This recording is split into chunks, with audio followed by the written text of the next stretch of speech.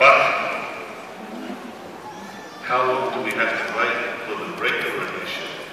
You don't have to wait at all. Here.